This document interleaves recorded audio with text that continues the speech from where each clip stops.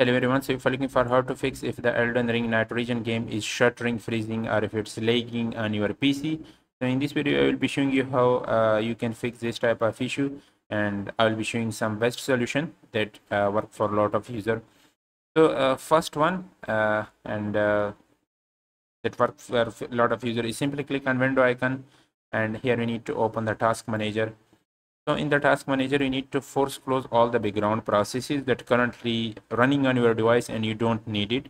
So uh, like you can see the Google Chrome. So it's running on my device and it use my 1.5 RAM memory.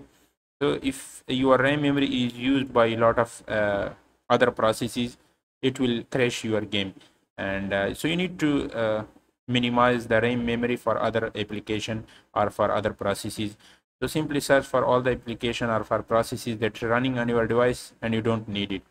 So once you force close this type of processes, the next you need to go to the search bar and then uh, search for background apps. Simply search for uh, background apps, open it. And uh, here you need to turn off all these background apps that currently running on your device. So I have already turned off it, but if you don't, uh, you need to turn off these background apps. And uh, once you turn off these background apps, then start the game again and check it whether the issue is fixed or not. But if you still face the issue then click on window icon power button and restart your device. So once you restart your device then right click on the steam and uh, run the steam as administrator. So you need to give admin permission to the steam. And once you give admin permission to the steam then go to library collection. Then you need to look at the game icon right click on it go to properties select install file from the side menu and then click on verify integrity of game file so when the verification is completed, then start the game again and check it, the issue will be fixed.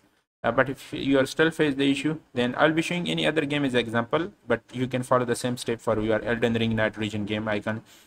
So here in the library collection, uh, locate for Elden Ring uh, Nightreign game icon, right click on it, go to properties, not properties, but you need to browse a local file. So simply go to manage option and browse a local file. And uh, let's do on any other game. So manage option browse local file.